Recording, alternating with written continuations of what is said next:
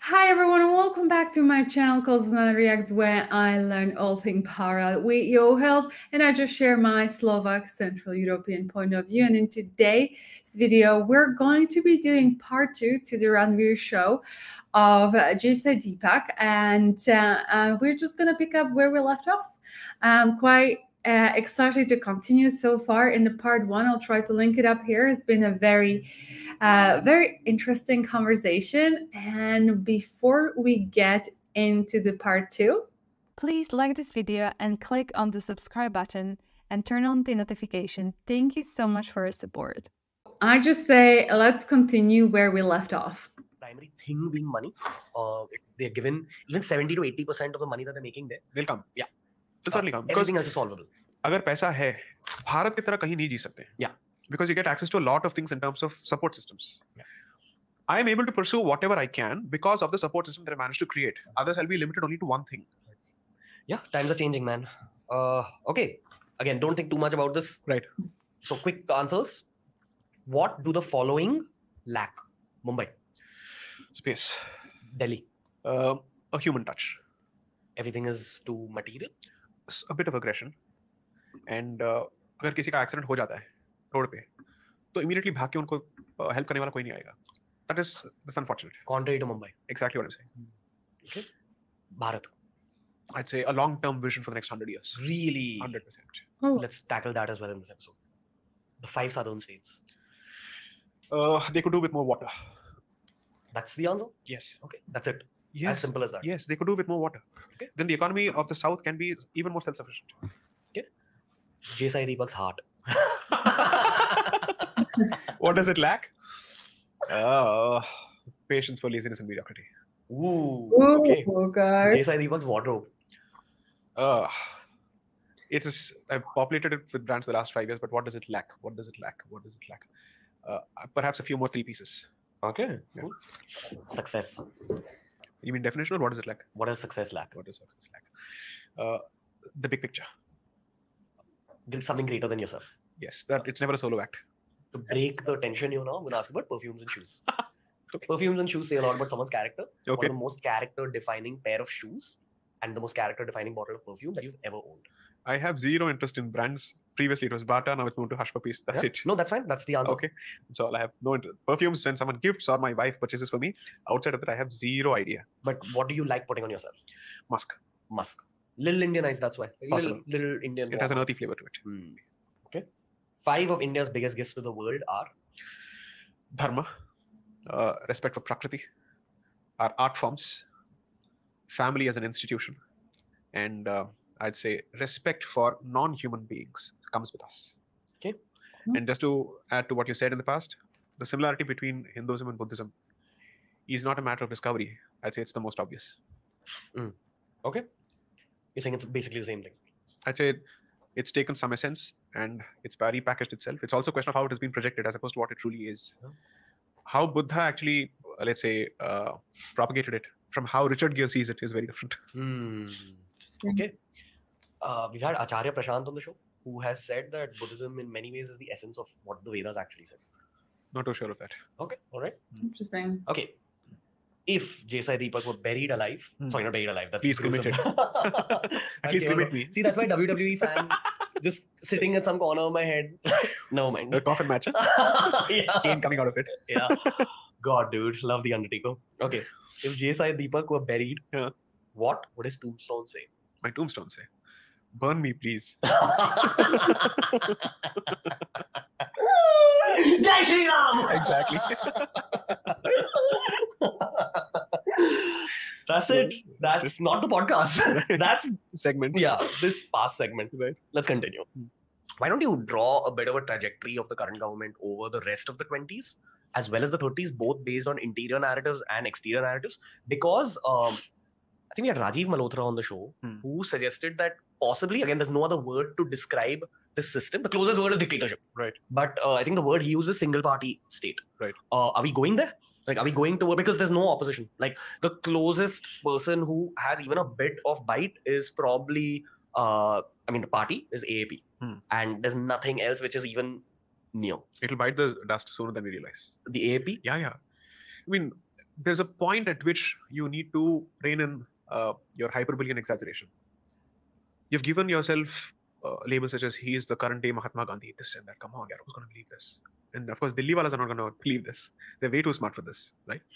So uh, the problem is this: um, there is a huge paucity of good options uh, as in the, in the opposition. And I, I think as it was Anand Ranganathan who said this, was a dear friend who said this that uh, uh, the BJP, or at least Mr. Modi, is blessed with a joke of an opposition in his horoscope. Hmm, Okay, so That's true. It's un- unfortunate, it's unbelievable. Circumstances do create a destiny, Correct. and this is true. Hmm. Look at it. Where are the options here? And surely it can't be anybody's case the government is getting everything right. It's not possible humanly. Human error is bound to happen. So that means people aren't paying attention to policy. People aren't paying attention to actual issues. They're busy playing identity politics to bring him down. Saying that he's anti anything that's not. Anti-democracy, anti-free speech. What are you saying? Who's going to buy this? Who's going to buy this? The number of articles which are written day in and day out. I mean, who, which of these people has been jailed for writing against Mr. Modi? It may have happened for any other BJP person, but not for Mr. Modi, by the way. It could have happened at the state level. It could have happened for anybody else, not for him. I'm not going to defend him for anything. I'm just saying that choose your issues well. At least think through what you're saying. The chances of India becoming a single party state, almost like China, or let's say a single party democracy, as oxymoronic as it sounds like Singapore, is not. Uh, it's not, I don't think it's, it's going to happen because you see, Singapore is a city state. Size plays a role. Number of options plays a role. Your ability to curb and finish your political opponents, all of that plays a huge role. That's not going to happen here. Okay. And importantly, as in every political party, there are huge differences of opinion in every party. Okay. So it's a question of how those differences of opinion are managed, right? Uh, there was a point when the Congress uh, in the 1920s and 30s had no alternative. Okay. But the Swaraj Party came outside of it, established by uh, Chittaranjan Das, Deshbandhu, and uh, Motilal Nehru, right? When they realize that uh, the non-cooperation movement isn't taking the Congress anywhere. So sometimes it may not be an opposition from the outside. It may also happen as a consequences of differences of opinion from within. Let me clarify. I'm not hinting at anything. I'm just saying trajectories kaise ho Yeah. I think to be able to predict the future, you need to study history in detail. Exactly. So that's why Exactly. Okay. So I am basically saying uh, that more and more people who are interested in delivering the goods on the cultural side, on the civilizational side, may say Vikas must go hand in hand with civilizational security, especially with too many problems, uh, let's say, rearing their heads. Okay. And uh, apart from that, uh, the larger revisitation that the entire world will go through is revisiting the model of democracy as it stands. I'm not saying it'll move to dictatorship or whatever. It may want to go with some kind of what I call enlightened democracy, which is exactly what the Rajya Sabha was meant to do. So the Britishers they designed it in such a way that Lok Sabha will accommodate all the popular voices to shut up the Congress. I'll give you a place to shout. But your policy decisions will be vetoed by Rajya Sabha because that will be populated by bureaucrats and subject matter experts. Which is why we have a policy even today of nominating experts from different fields as part of Rajya Sabha, saying the masses are represented here, the intelligentsia will be represented here. We may look at a situation where the Rajya Sabha or a Rajya Sabha like model finds greater say in policy making and whatnot. Will that truly happen? See, these things can't be designed. These things are usually organic. It's a matter of a particular, let's say, spark where people realize, no, we need a different model now. If this is not throwing up enough options. Two days ago, uh, Anand and I had the good fortune, or let's say, of sharing space at uh, the SRCC Business Conclave uh, with Mr. Mani Shankar Aiyar, uh, Mr. Salman Khurshid, and Mr. Uh, Sudhindra Kulkarni. The topic of the entire debate was Western narrative about Bharat and Indian narrative about Bharat. That was the discussion whose topic maybe they managed to bring in BJP versus Congress. The entire thing was different. It was about media narratives. It's about how the West sees us. It's about how we see them. In what context? The BBC documentary, the uh, the downright insulting caricatures during COVID, or the Chandrayaan, and so on and so forth, where they still think of us as a country of snake charmers and whatnot. And what's wrong with being a snake charmer? Sorry. So these are the kind of caricatures that we were hoping to discuss. It became about BJP versus Congress within 10 minutes. So, I, and the best part is the audience was tired of it. Yeah. They're like, mudde pe baat karo, talk about the issue. We are not interested in this, what about you anymore? Give us better content. Give us better issues to deal with. That is what will push the conversation on democracy. Okay. Uh, still want a deeper picture of things. Let's talk from a very specific angle. There are four or five people within the BJP who could be sort of next PM candidates. Uh, Modi ji probably has four years left, and then at some point he's going to take a step back. Everyone anticipates that as well. His whole uh, kind of basis, and this is what I've learned from Sanjeev Sanyal, is that he wants to focus on infrastructure. Right. Someone will have to take the game forward. Right. Simple question: Who's the next PM? What's the future of the BJP? When there is no opposition or quality opposition, the only opposition that can theoretically come from then is from within the society, where the society says we need one more, or from within the existing power structure. So this is a, a theoretical projection, not based on any first-hand knowledge and based on what has happened in the past. If that were to happen, I would see the the gradual formation of what I call the Naramdal and the Garamdal within the BJP. The Naramdal focuses only on infrastructure, uh, investment, all this. The Garamdal saying, Patrao ho hai, stone pelting ho raha hai, har Vande Bharat Express pe pathar ja rahe And you have uh, people asserting themselves in the most vigilante fashions possible. And you're looking at illegal migration. You're looking at China. You're looking at the changing demographic balance in border districts and close to 200 districts. Are we then creating Vikas, where a, a country with fantastic infrastructure is ripe for taking over? आप सब कुछ तैयार करके किसी और के हाथ में दे देंगे effectively what's happening with Europe first world infrastructure being handed over to third world immigrants especially from the Middle East okay or even for that matter from Pakistan specifically right so if you have to look at a situation which you don't want that situation is Europe where you've got Vikas, but you have zero cultural moorings or civilizational identity anymore, thanks to their hyper focus on secularism, where they've killed their own identity and they, they don't have an identity to speak of. And when identity does not exist, the human consciousness will be filled with something else because vacuum cannot exist. Exist दिमाग खाली नहीं हो सकता है कुछ ना कुछ Either it's gold or garbage. It's for you to decide, right? So this Naramdal Garamdal fight may at some point come to the fore, and that may result in. Okay, can I just like I I do full I don't agree. This is this is a very generalized statement about Europe. Uh, so you have to under like we've established that there is a U.S. that has basically by Woodrow Wilson, he encouraged the basically what's now, now known as the European Union. So European Union has been a product or project, I like to call it, of the USA. That is the bottom line. So whatever we get in Europe, it's kind of like first happens in the US and then it's I don't want to use the word imported because I, I don't think it's right. Like because it's not like you're it's you're deliberately doing that. It just comes here, right? So when you have a vote culture and the US, it can go to real, real extremes. And it will hit this part of the world. But when it comes to Europe, you have to understand that Europe is not one country.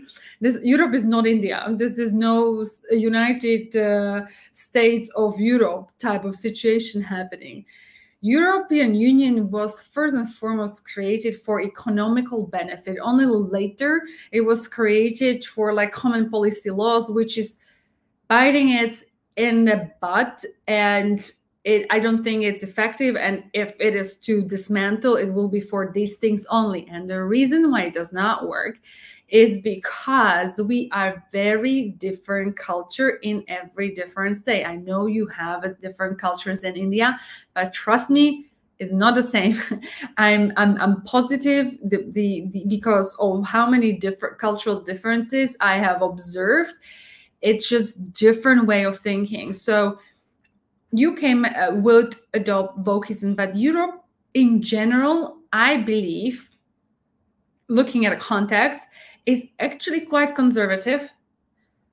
I think even UK is very conservative, I, I would say. I, and then, so you have the Western Europe, where you have UK, France, Germany, etc uh, the the key countries yes you would have the the wokeism then you have northern europe nordics gone a bit crazy when it comes to being too liberal i think that they are the most liberal but just so you know how different this is i personally don't care about nordics.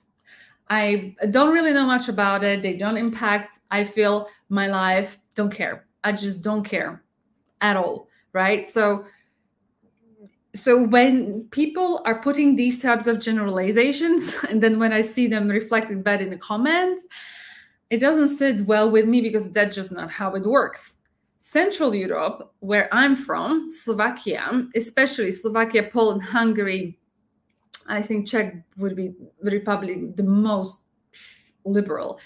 To very conservative nations and they're fighting so like poland is fighting with the with the european on liberal policies because they don't agree. But you know like it, this is kind of what it is. We do not adopt it to the extreme ever. That's in the US. I feel like you can find also sorts of crazy in the States, but in Europe, we are like, English don't like the Americans. Americans love the English, right? So whatever Americans come up with, British usually roll their eyes and they're like, oh my God, you know, I don't want to, you know, what on earth?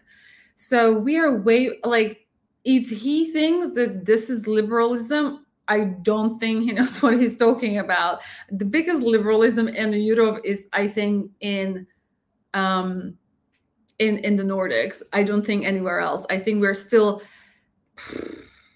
miles away from whatever is happening in the in the US. I'm not saying it's not present um, because it started to you could start to feel it also in Slovakia. It's just quite shocking because it's very Slovakia is a very Catholic country, very conservative, very very conservative. So yeah, I I I I, I don't think that destruction and I might be short-sighted. Maybe obviously I don't know things is as close as people might think. It's I, I, I straight out say I absolutely do not believe that. Um, but uh, anything can happen, right?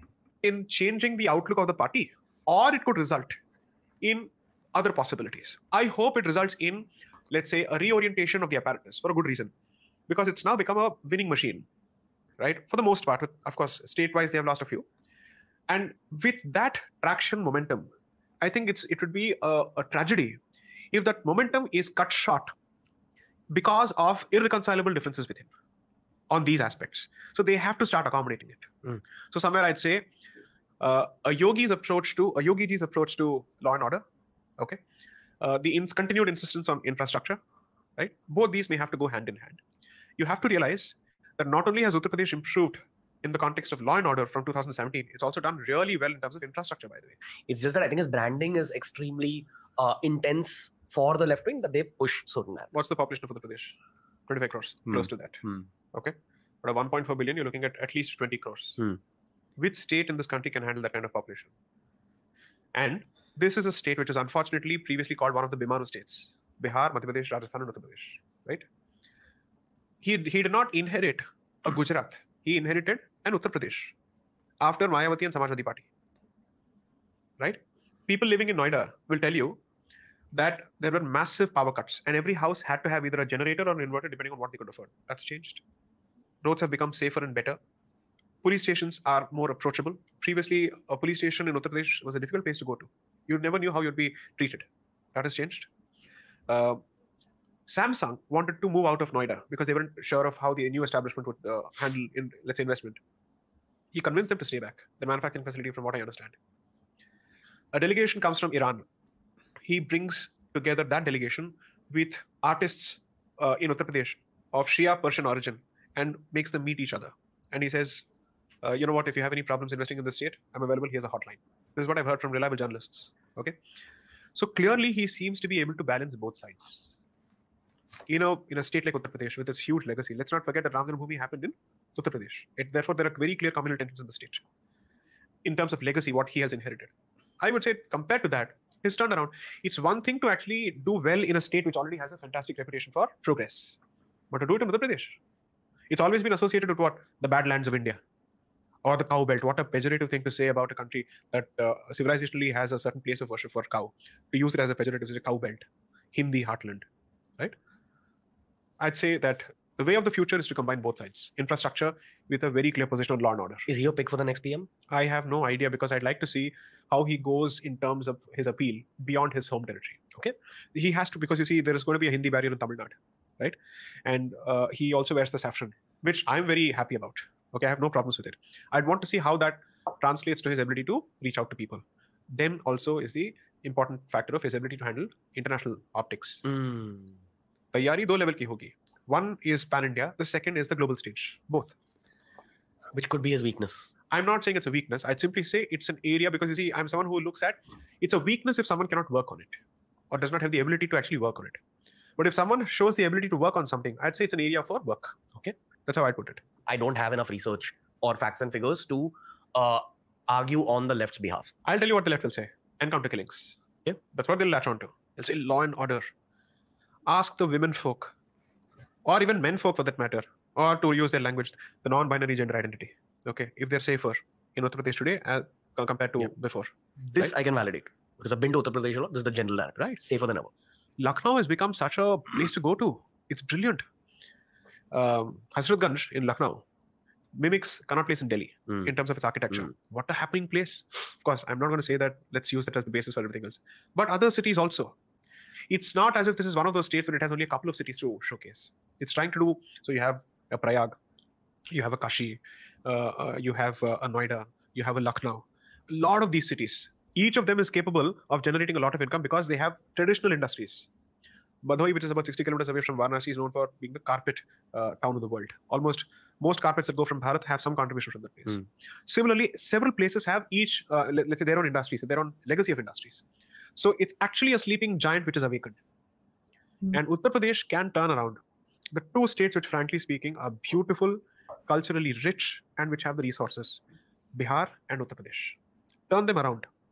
Bharat will see greater strides towards uh, progress on an overall level. One, because of the sheer size and the scale of the populations. Hmm. I've not had the good fortune of going to Bihar, in fact. But everyone who's been there says, what a green and beautiful state. What is it that Bihar lacks in terms of resources? And let me challenge anyone when they say that Biharis don't have the IQ for it. No, not at all. Bureaucracy, they're fantastic. Engineering, they're bloody good at it. Yeah. The, probably the most high IQ community. Exactly, But they're we- among the best. You need to go and find that high IQ when you interact with them. If you go to uh, your, let's say, your uh, railway depots, or let's say your IRSME establishment, which is where you manufacture your coaches and you repair, most of them are Biharis. They're bloody good at it. They don't believe in passing off communication skills as knowledge. So their emphasis is not on English, rightly so. They focus on core strengths, manufacturing sector. And IS, there's a huge Bihar contribution there because they have a legacy contribution there. Hmm. So these two states, I think, are to watch out for. Madhya Pradesh uh, has turned around the agriculture sector brilliantly, and now it's focusing on industrial policy. Okay, I should know this. I'm the special counsel for the state government of Madhya Pradesh and the Basmati litigation, and I know how they've turned this around. Um I've, I'm just coming from Indore. I, I had a, a lecture last evening at Ujjain. Enlightened students, youngsters, culturally rooted, very proud of their uh, civilizational origins, their religious origins, and eager and keen to perform and show that do not associate Madhya Pradesh with the Chambal Valley of the past. They, they come with that kind of zeal and ambition. So, what is stopping them? If there are right opportunities provided, these three states, huge, large, resource rich, can turn the India story around, the Bharat story around fully. By selling things to the rest of the world. Yes. You know, one of the things that's undertapped is what I call the branding economy from the perspective of intellectual property. I'll give you a simple example. Sure. What do you think of France when you come to, when you think of let's say foods, liquids, champagne? Yeah. Right. Scotland, you're looking at Scotch, uh, Scotch whiskey, right? Or the sweet, uh, uh, sorry, the tweed jackets, on and so forth, right? Why? One is creating a product. The second is to create an ecosystem around it and quality standards, so that you know champagne ki quality ye hogi. This is how it should be. Swiss cheese, feta cheese, Greek cheese, or whatever it is, right? During World Trade negotiations, these countries were fighting for rights over spirits and cheeses because that's their primary industry Hmm. each of these states has such products to offer across the board on the manufacturing side as well as on the agriculture side. If you were to actually create a brilliant branding economy and quality control economy for each of these things, you are ensuring the local population stays there. What does that do? Stops the local population from running to cities and crowding cities. The local brain drain. Exactly. Because then there's so much of stress on the cities Hmm. and people are leaving the villages. Hmm. That leads to all kinds of problems. So if you're able to give them enough empowerment and enough, enough enabling metrics which give them incentive to stay back, thrive, when people are watching TV, what are they looking at? Delhi ऐसा होता है मुंबई ऐसा होता है अगर वहां जाने की जरूरत ना पड़ी and people say we'll stay here we'll turn this into a different place altogether that's the trick and so local branding of the economy and giving it a foothold and, and let's say the support that the state can is where I think the, the entire trick is. Madhya Pradesh has started doing it. the entrepreneurial perspective here is that I think a bunch of generations have missed out on marketing 101s and branding 101s there.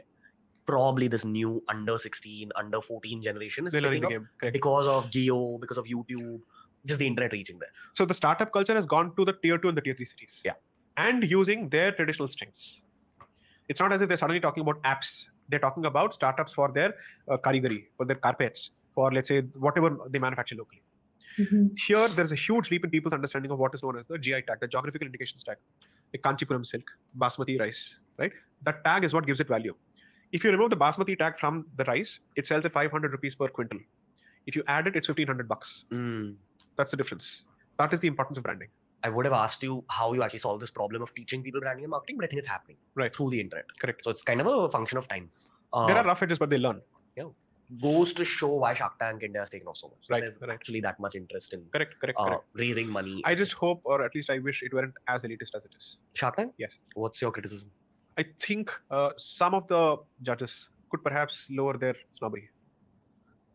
You want to take names? No. Okay. Because names take away uh, attention from the content. Okay. I'm interested in the issue. Okay. I'm saying it's a good idea. You have a great platform. You can actually help build the India story from a startup perspective.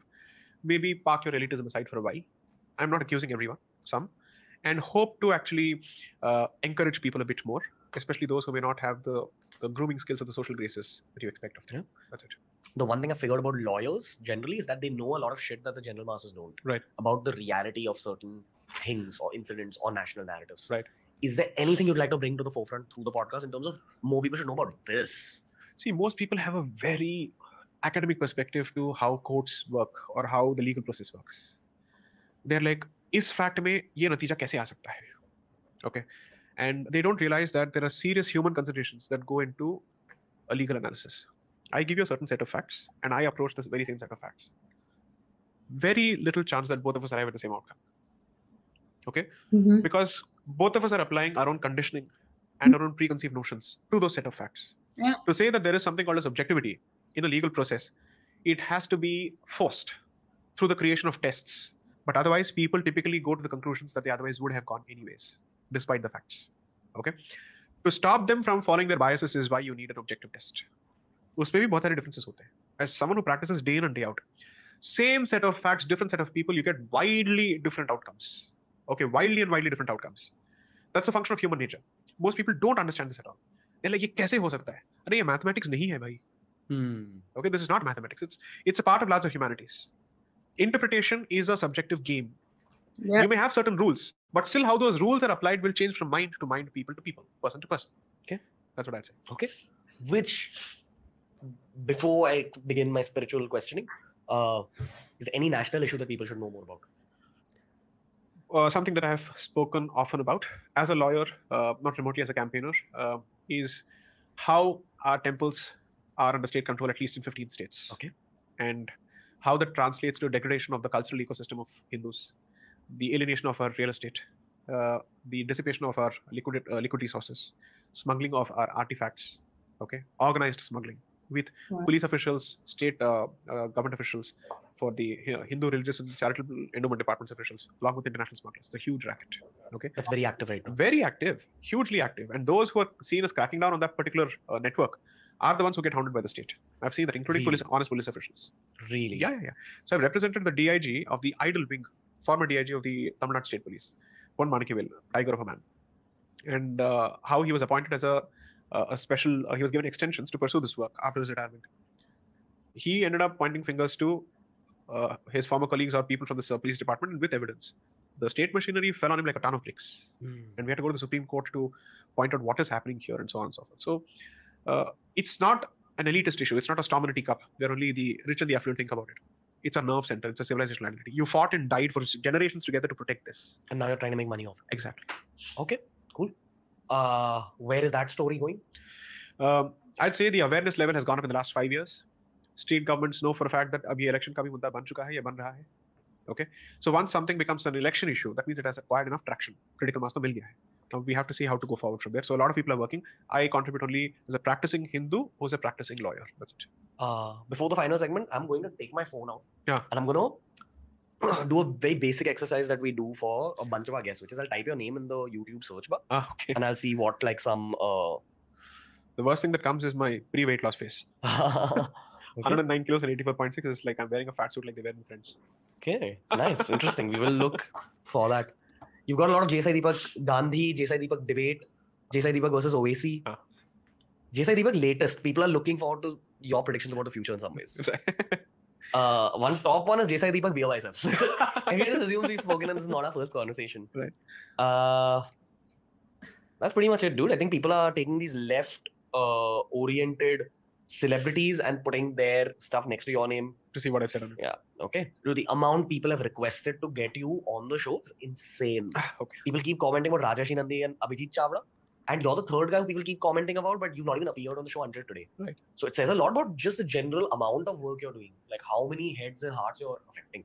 So I wish you luck, man. Thank you. Thank so you. on behalf of the whole team for coming on the show and uh, just kind of exploding with all this information. Thank this you for the hospitality. Yeah, bro. Uh, this is on behalf of, of Team Ajio and Team TRS. Okay. So it's a little hamper, it's a little heavy, so just be careful. This was the end to the video. So I understand that this man is uh, pro Hindu, uh, but uh, uh, and talks about temples, and he's mentioned that here briefly. But um, it's interesting when he uh, when Ranveer had mentioned there's so many people are requesting him. So what is it about this guy that you guys are liking so much? If you could let me know in the comments below. So to me, looking at the and the whole podcast, he does come across. Obviously, he's a lawyer. Obviously, he's super um, educated. He seems like a, a rational uh, type of person, and um, I'm just looking at if there was anything um, in the comments that I've made. Uh, actually, I quite you know what what he's mentioned that people are moving from villages to the big cities, and that is creating a problem for the the kind of village infrastructure and i wonder like if you could maybe talk to me a bit more in the comments about what what, what is transpiring as a problem would be would be very uh, very interesting. I find i found this podcast more like a get to know him type of a podcast. Uh, um yeah um, and uh, it was definitely informative but it was a lot of i think very local nuanced stuff that i did not get to be honest. So I don't feel like there is that much that I can contribute or, or comment on. Um, yeah, I, I like the fact uh, where he talks about um, uh, uh, the the academic process towards law and uh, how the interpretation of the same data is subjective. I, I found this very interesting and absolutely very very true. And I think I mentioned in a couple of videos that because you come from a different uh, background, different culture, different socioeconomical conditions, uh, you know, whatever your beliefs are, you will try to see different things perhaps than than someone else. So it's it's always very important to to bear it in mind how you're reading people. You're reading it from your idea of the world, from what you know, and they are reading you from what they know, and this is what can create arguments, disagreements, etc., etc. So I, I I would then on a final note encourage everyone to be a bit more open-minded and and seeing like okay if uh, they, they are different to me in these manners like you know what they say how can i you know let's say not get insulted or worked up or whatever else in just the day-to-day life. Um, so i can live a better balance a more open-minded life and contribute better to to my family and to my society and with that being said, thank you so much for watching this part two with me. I hope you liked it. If you did, please give a thumbs up, share like, and subscribe to this channel. And I'll see you next one. Until then, please do take care. I'm sending much, much love. Bye bye.